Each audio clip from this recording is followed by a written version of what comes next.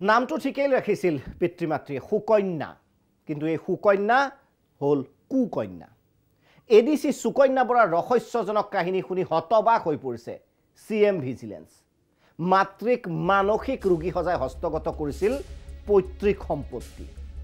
সুকন্যাই নলবাৰীৰ এখন মানসিক চিকিৎসালয়ত ৰাখিছিল মাতৃক। পিছত ঘৰৰ পৰা ভাতৃকো ওলাই দিছিল কুকন্যা। ক্ষমা কৰিব সুকন্যাই। বিভিন্ন প্ৰকাৰে সুকন্যাই নিজৰ নামত হস্তগত কৰিছিল মাটি সম্পত্তি। মৰিগাঁৱত সুকন্যাৰ আছে সোতৰ বিঘা দুই লেচা ভূমি। কামৰূপ আৰু কামৰূপ মহানগৰতো আছে বিশাল সম্পত্তি। গুৱাহাটীৰ হাতীগাঁও দক্ষিণ শৰণীয়া জয়ানগৰ কাহিলীপাৰাত প্ৰায় চুকে কোণে আছে মাটি আৰু সম্পত্তি। কাৰ্বি আংলঙত চাকৰি কৰা সময়ত দুৰ্নীতিত জড়িত আছিল নেকি সুকন্যা?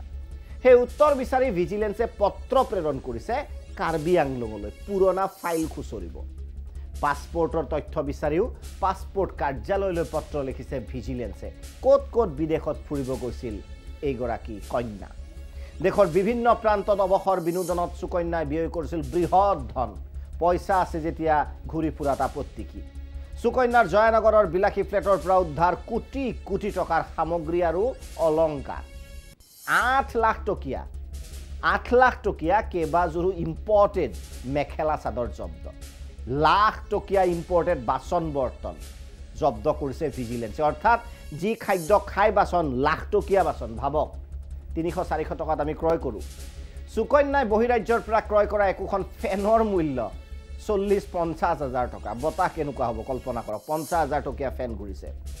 ইফালে জেৰাত সুকন্যাই আৰক্ষীক দিয়া নাই কোনো বেংক লকাৰৰ তথ্য। যাৰ বাবে সুকন্যাৰ একাউণ্টত থকা তিনিটা বেংকলৈ পত্ৰ লিখিছে ভিজিলেন্সে তথ্য দিয়ক সুকন্যাৰ।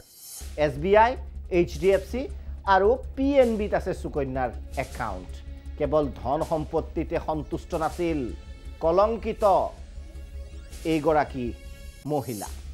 ক্ষমতাৰ বাবে সকলো পৰ্যায় পাৰ কৰিছিল সুকন্যাই। বিভিন্ন শীৰ্ষ পৰ্যায়ৰ বিষয়াৰ সৈতে অতি ঘনিষ্ঠ সম্পৰ্ক ৰাখিছিল।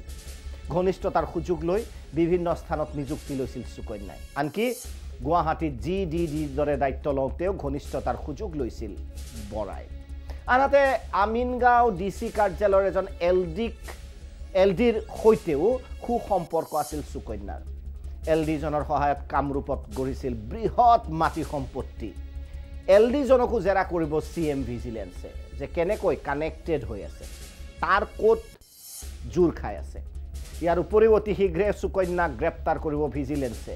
গতিকে এয়া আছিল কাহিনী কুকন্যা খ্যাত এতিয়া সুকন্যা বৰা। পিতৃ মাতৃ হয়তো বহু হেঁপাহেৰে নাম ৰাখিছিল কিন্তু অৱশেষত মাতৃকো যেন কোনো ধৰণৰ গুৰুত্ব নিদি মানসিক ৰোগী সজাই নলবাৰীত ৰাখি থৈছিল। এই ভয়ংকৰ অভিযোগ যদি সঁচা হয় নিশ্চয় মানৱতাক কলংকিত কৰিব এনে অভিযোগে।